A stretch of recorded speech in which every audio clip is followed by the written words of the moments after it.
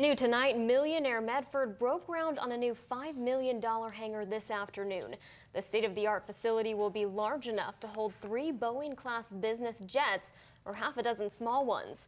The door alone will be 45 feet tall and 250 feet wide.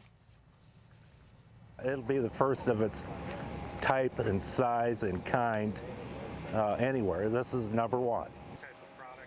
The hope is to have it functional by the end of next year. When it's complete, it will be one of the largest hangars in the state of Oregon.